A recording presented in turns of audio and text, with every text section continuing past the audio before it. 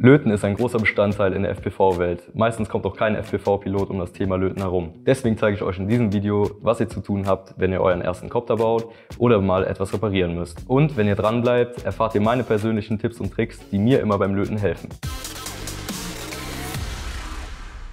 Hey, mein Name ist Max, aka Maximum FPV und ich bin hier mit FPV24. Und wie bereits gesagt, kommt im Normalfall kein Drohnenpilot an dem Thema Löten vorbei. Denn die Lötstellen und verlöteten Kabeln in euren Koptern sind der wichtigste Bestandteil. Denn daran hängt die ganze Elektronik. Und damit entscheidet sich auch, ob der Kopter in die Luft geht oder in Rauch aufsteigt. Wir haben das Video für euch in zwei Teile aufgesplittet. Zuerst zeige ich euch in vier einzelnen Schritten die Basics beim Löten und danach zeige ich euch meine persönlichen Tipps. Der erste Teil des Videos ist besonders für diejenigen geeignet, die sich das erste Mal mit dem Thema Löten auseinandersetzen. Aber auch erfahrene FPV-Piloten können ja vielleicht noch etwas dazulernen. Kleiner Disclaimer am Anfang, ich zeige euch in diesem Video lediglich meine Art und Weise, wie ich meine Quads löte und was mir dabei hilft. FPV24 und ich übernehmen keine Verantwortung, falls bei euch etwas schiefgehen sollte. Ich bin kein gelernter Elektriker und dieses Video ist nur für den Hobbygebrauch gedacht. So, nachdem das auch geklärt ist, auf zum ersten Teil des Videos.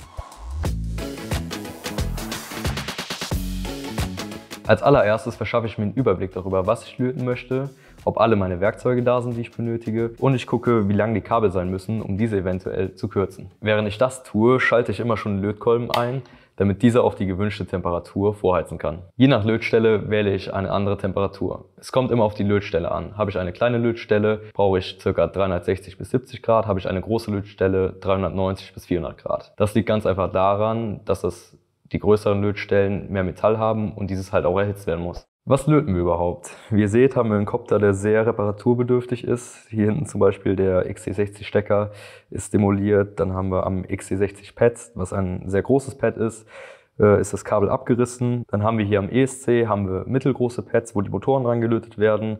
Und oben am FC, der leider ein bisschen abgefallen ist, haben wir relativ kleine Lötstellen, wo wir auch noch nachher ein paar Kabel verlöten müssen.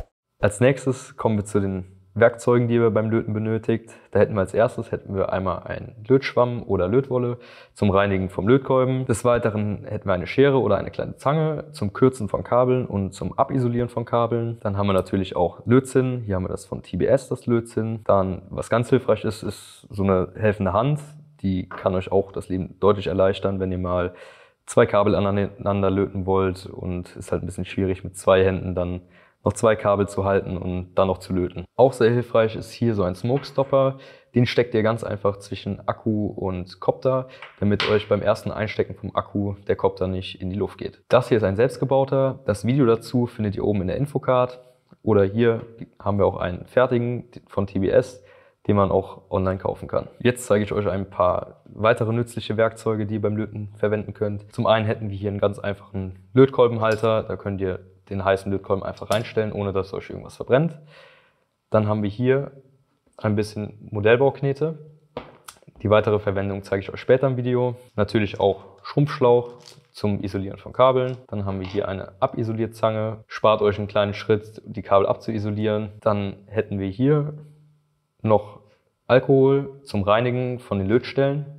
Auch sehr wichtig. Hier haben wir noch ein paar verschiedene Werkzeuge, die ihr einfach auch so benutzen könnt. Hier zum Beispiel eine weitere Lötspitze, die gibt es in verschiedenen Größen.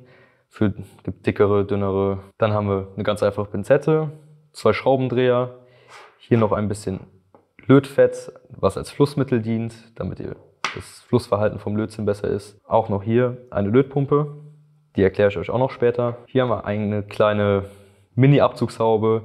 Das dient dazu, dass ihr die Dämpfe, die beim Löten entstehen, da die je nachdem giftig sind, damit ihr die nicht einatmet. Und zum Schluss haben wir natürlich noch eine Lötmatte, die ist sehr hilfreich, falls ihr an eurem Esstisch oder sonst wo lötet, dass ihr euch nicht den schönen Tisch versaut. Jetzt natürlich kommen wir zum Herzstück beim Löten, den Lötkolben. Hier haben wir als Beispiel eine Lötstation von TBS, wo man vorne an der Station selber die Te Temperatur regeln kann. Die Temperatur bei der Station hier geht bis 480 Grad hoch und es ist deutlich heißer wie bei diesen kleinen Lötkolben, die wir euch später noch zeigen werden. Im Gegensatz zu der TBS-Lötstation, die wir euch eben gezeigt haben, sind die nächsten drei Lötkolben, die wir euch zeigen, mehr für den Gebrauch im Feld gedacht. Hier haben wir den Secure, Secure, wie auch immer man das genau ausspricht, den Secure SQ D60B. Dieser ist deutlich portabler im Gegensatz zu der Lötstation, die wir euch eben gezeigt haben, da man hier einfach ein USB-C-Kabel dran steckt, Dieser geht dann an einen Barrel Connector und das Kabel führt dann in einen XC60 Stecker, welchen ihr an euren Lipo anschließen könnt. Deswegen könnt ihr das Ganze hier einfach mit ins Feld nehmen. Die Temperatur reicht hoch bis 400 Grad und ist somit geringer wie die von der Lötstation mit 480 Grad. Die Lötspitze kann man ganz einfach austauschen, indem man hier die zwei Schrauben lockert und dann eine andere Spitze aufsetzt. Dies kann man aber auch bei der Lötstation und bei den anderen zwei Lötkolben, die wir euch noch zeigen werden. Nun kommen wir zu den anderen zwei Lötkolben, die sehr, sehr baugleich sind, aber von unterschiedlichen Firmen. Da hätten wir einmal wieder den Secure SQ001, das ist dieser hier. Und dann hätten wir den TS100, der auch sehr bekannt ist von TBS. Beide gehen wieder bis 400 Grad und werden durch einen Barrel Connector wieder am LiPo angeschlossen, deswegen auch sehr feldtauglich. Jedoch sind die nochmal ein Stückchen kleiner wie der eben gezeigte und damit nochmal ein Stück portabler. Im zweiten Schritt fange ich an, die Kabel abzuisolieren und die Lötstellen zu reinigen. Das Reinigen könnt ihr ganz einfach mit 99%igen Reinigungsalkohol machen. Den Link dazu findet ihr unten in der Videobeschreibung. Das Reinigen dient dazu, dass die Lötpads von allen Fetten und Unreinheiten befreit werden, damit später der Lötzinn auf den Pads besser haftet. Damit ihr später eure Kabel ordentlich an euren Kopf dann verlöten könnt, braucht ihr natürlich das Metall von den Kabeln und nicht die Isolierung. Diese müsst ihr entfernen. Den Vorgang nennt man abisolieren. Grundsätzlich müsst ihr so circa 1 mm von der Kabellänge abisolieren, damit ihr später beim Löten gar keine Probleme habt. In meinem Fall mit der Schere müsst ihr wirklich drauf aufpassen und braucht ein bisschen Übung, bis ihr das ordentlich hinbekommt. Ihr müsst die Schere nehmen, ansetzen und versucht, dass ihr einmal im Uhrzeigersinn um das Kabel drumherum geht. Aber ihr dürft dabei nicht zu sehr zudrücken, sonst habt ihr nachher das Metall auch abgeschnitten und könnt dann nachher nicht mehr ordentlich löten, weil das Kabel zu kurz ist. Falls ihr es euch ein bisschen einfacher machen wollt und auch ein bisschen professioneller, könnt ihr euch so eine Abisolierzange kaufen. Da müsst ihr einfach nur bei der entsprechenden Kabeldicke das Kabel reinlegen, zudrücken, dann wird das, die Isolierung schon perfekt abgeschnitten und ihr müsst einfach nur die Isolierung dann später abziehen. Übrigens, so eine Zange findet ihr auch in dem Ethics Toolcase, was ihr bei uns im Shop findet. Also guckt in die Videobeschreibung, da findet ihr den Link. Wenn ihr nun alle Kabel entsprechend vorbereitet habt, also abisoliert und gekürzt, können wir zum nächsten Schritt fortfahren, dem Verzinnen. Verzinnen bedeutet einfach nur, dass ihr im Vorhinein schon etwas Lötzinn auf die entsprechenden Lötpads, Kabel und auch den Lötkolben gibt, damit der Lötvorgang später einfacher vonstatten geht und sich die Materialien einfacher verbinden. Wichtig hierbei ist es, dass ihr an einer Lötstelle immer denselben Lötzinn verwendet, weil wenn ihr schon Kabel habt, wo im Vorhinein schon etwas Lötzinn dran ist, kann es sein, dass die sich nicht so gut mit eurem Lötzinn verbinden.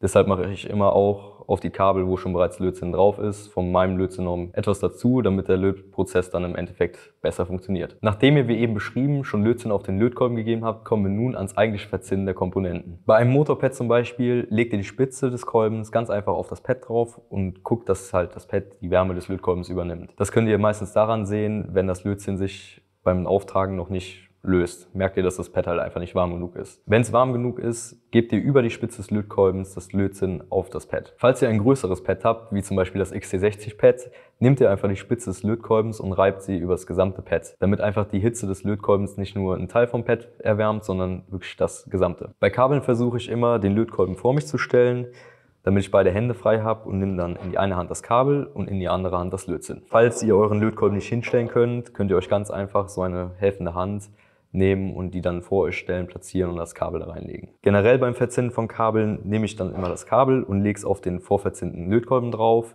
und gucke, dass es erhitzt wird und gebe dann von oben Lötzinn drauf. Wichtig, schaut immer, dass ihr euren Lötkolben sauber haltet. Denn je sauberer der Lötkolben ist, desto besser werden nachher die Lötstellen und desto einfacher ist es zu löten. Das kann man daran erkennen, wenn die Spitze des Lötkolbens nicht mehr schön glänzt, sondern matt und dunkel wird. Meistens bildet sich auch eine Kruste oder wie so ein Film auf der Spitze. Und das erschwert das Löten sehr, denn die Kruste ist logischerweise nicht flüssig wie das Lötzinn, sondern wird fest. Wenn ihr Pech habt, können sich beim Entfernen des Lötkolbens kleine Spitzen bilden. Diese sehen meistens nicht schön aus und sollten somit vermieden werden. Im schlimmsten Fall können diese Spitzen sogar euer Funksignal stören und somit einen Crash verursachen. Säubert die Lötspitze ganz einfach mit Hilfe des Lötschwamms oder der Lötwolle. Wenn euer Lötkolben nun wieder schön glänzt, könnt ihr ganz einfach neues Lötzinn draufgeben und weiter zur nächsten Lötstelle gehen. Wenn ihr nun alles vorbereitet habt und alles schön verzinnt habt, könnt ihr nun anfangen mit dem Löten. Das Löten an und für sich geht eigentlich ziemlich schnell. Zuerst reinigt ihr den Lötkolben erneut und gebt frischen Lötzinn drauf. Nehmt beispielsweise euer Kabel und euer Pad auf dem ESC oder FC, fangt damit an, das verzinnte Pad erneut zu erhitzen, sodass der, das Lötzinn wieder flüssig wird. Dann drückt ihr mit dem Lötkolben das Kabel auf das Pad in das flüssige Lot. Da ihr nun Hitze von oben und von unten habt, sollte das Kabel quasi mit der Blase aus Lötzinn verschmelzen. Nehmt euch im besten Fall immer eine kleine Pinzette zur Hand, damit ihr die kleineren Kabel oder bei kleineren Lötstellen die Kabel dann viel präziser verlegen könnt. Beim nächsten Beispiel nehmt euch am besten eure helfende Hand, oder etwas Knete dazu. Bei dickeren Kabeln benötigt ihr mehr Hitze, genauso wie bei größeren Lötpads, da es mehr Metall gibt, was erhitzt werden muss. Der XC60-Stecker ist etwas schwerer zu löten. Aber wenn ihr beim Vorbereiten der Kabel darauf achtet, dass die Kabel genau in die Hülsen vom Stecker passen, geht das deutlich einfacher. Nachdem ihr dann auch den XC60-Stecker verzinnt habt und den Stecker erhitzt habt, könnt ihr die vorverzinnten Kabel einfach in die Hülse reinlegen und verlöten.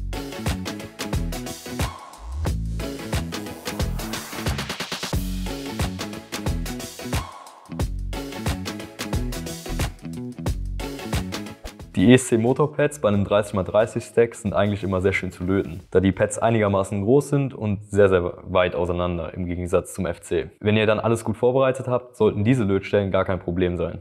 Beim FC habt ihr meistens kleinere Lötstellen und kleinere Kabel, deswegen benötigt ihr besonders da weniger Hitze. Wie bereits eben schon gesagt, benutzt eine Pinzette, um die kleineren Kabel ordentlich in Position zu bringen. Falls ihr mehrere Kabel direkt nebeneinander gelötet habt, versichert euch zu 100%, dass ihr nicht aus Versehen Lötzinn oder sonst eine Metallverbindung zwischen den einzelnen Pads besteht. Sonst könnte es sein, dass ihr beim Einstecken des Lipos einen Kurzschluss verursacht und euch dann im Zweifel irgendwas durchbrennt. Das ist nützlich, wenn ihr ein Kabel verlängern wollt oder zum Beispiel bereits vorhandene Stecker von Kamera oder sonstiges mit einem neuen Kabel verbinden wollt. Auch hier benötigt ihr etwas, um die Kabel in Position zu halten. Wichtig, fädelt bevor ihr die Kabel zusammenlötet ein Stück Schrumpfschlauch über eine Seite des Kabels. Das dient später dazu, die Kabel wieder richtig zu isolieren. Bringt die verzinnten Kabel so zusammen, dass die Kabel jeweils ein paar Millimeter nebeneinander sind. Dann erhitzt ihr beide Kabel mit dem Lötkolben von unten. Dann sollen die Kabel sich schon verbinden und ihr könnt noch etwas Lötzinn hinzugeben. Tricky an der Sache ist, dass die Kabel gleichmäßig aneinander gelötet werden. Wenn ihr zufrieden seid, könnt ihr den Schrumpfschlauch über die Lötstelle ziehen und erhitzen. So zieht er sich zusammen und isoliert die Kabel erneut. Um den Schrumpfschlauch zu erhitzen, könnt ihr entweder den Lötkolben nehmen, ein Feuerzeug oder, um es noch ein bisschen professioneller zu machen, eine Heißluftpistole. Wenn ihr dann alles fertig gelötet habt, müsst ihr noch einmal kontrollieren, ob ihr auch nichts falsch gemacht habt. Dafür benutze ich immer drei Schritte. Zuerst schaue ich mir die Lötstellen an und kontrolliere, wie bereits bei Beispiel 3 gesagt, ob ein Kurzschluss entstehen könnte. Im Zweifel nutze ich dafür auch eine Lupe. Danach schaue ich, ob die Kabel überhaupt halten. Und wie macht man das natürlich am besten? Indem man an den Kabeln zieht. Natürlich sollt ihr nicht mit voller Gewalt an den Kabeln ziehen, aber schon einigermaßen fest. Denn bei einem Crash im Baum könnten schlecht gelötete Lötstellen schnell mal abreißen und dann euren Kopter noch mehr zerstören. Bevor ich dann das erste Mal den Lipo einstecke, benutze ich zwischen Lipo und XC60 Stecker vom Kopter einen Smokestopper. So ein Smokestopper, den wir euch bereits eben schon gezeigt haben, verhindert einen Kurzschluss, falls ihr etwas bei der Prüfung übersehen habt. Legt euch lieber für ein paar Euro einen Smokestopper zu oder baut ihn euch selber, wie wir es euch bereits gezeigt haben bevor euch nachher der ganze Kopter von mehreren hundert Euro kaputt geht, weil irgendetwas durchbrennt. Benutzt den Smokestopper nicht nur, wenn ihr euren Kopter gebaut habt, sondern auch jedes Mal, wenn ihr irgendwas repariert habt oder irgendwas an dem Kopter gelötet habt, damit auch da verhindert wird, dass ihr irgendetwas falsch gemacht habt oder übersehen habt und nachher der Kopter im Eimer ist. So, nun zeige ich euch meine persönlichen Tipps, die mir immer helfen, wenn ich am Löten bin. Zuerst kommen wir zu dem zusätzlichen Werkzeug, was ich benutze. Falls ihr euch schon mal vertan habt mit dem Lötpad oder zu viel Lötzinn benutzt habt und somit zwei Pads verbunden habt, könnt ihr mit der Lötpumpe das erhitzte Lötzinn ganz einfach einsaugen. Eine hitzebeständige Unterlage ist auch sehr wichtig, damit ihr euren Tisch, an dem ihr eure Lötarbeiten durchführt, nicht beschmutzt oder Brandstellen reinmacht. Als Alternative zu einer helfenden Hand könnt ihr auch einfache Modellbauknete benutzen und damit eure Platinen in Stellung halten. Beim Löten selbst benutze ich immer mehr Hitze als benötigt, denn je heißer der Lötkolben, desto schneller kann man auch löten. Durch die hohe Hitze kann ich ganz schnell auf die Lötpads draufgehen und die Kabel ganz einfach verlöten. Das kann ich aber nur empfehlen, wenn ihr schon öfters gelötet habt, weil wenn ihr dann stundenlang mit dem ganz heißen Lötkolben auf das Lötpad draufhaltet, kann es sein, dass der ESC zum Beispiel Schaden nimmt durch die Hitze. Dann benutze ich immer sehr viel Lötzinn, damit der Lötkolben immer schön sauber ist und die Lötstellen am Ende nicht dunkel werden, sondern immer schön. Also auch wenn nur ein bisschen Kruste, sich ein bisschen Kruste gebildet hat, benutze ich wieder neues Lötzinn, damit es am Ende ein schönes Ergebnis wird. Das geht einher mit meinem letzten Tipp, das Verschönern der Lötstellen mit extra Lötzinn. Wenn alle Lötstellen dann ausgehärtet sind und abgekühlt sind, benutze ich nochmal extra Lötzinn, damit das Endergebnis gleichmäßig und sauber aussieht. Das war's auch schon mit dem Video rund um das Thema Löten. Ich hoffe, ich konnte euch den einen oder anderen Trick zeigen, den ihr bei eurem nächsten Bild mal ausprobiert. Was sind denn eure Tipps? Schreibt sie gerne in die Kommentare und teilt sie mit der Community. Die Links zu allen Produkten findet ihr unten in der Videobeschreibung. Wenn euch das Video gefallen hat, lasst gerne einen Daumen nach oben da und abonniert den Kanal, damit ihr auch kein Video mehr von uns verpasst. Vielen Dank fürs Zuschauen und bis zum nächsten Video. Stay tuned!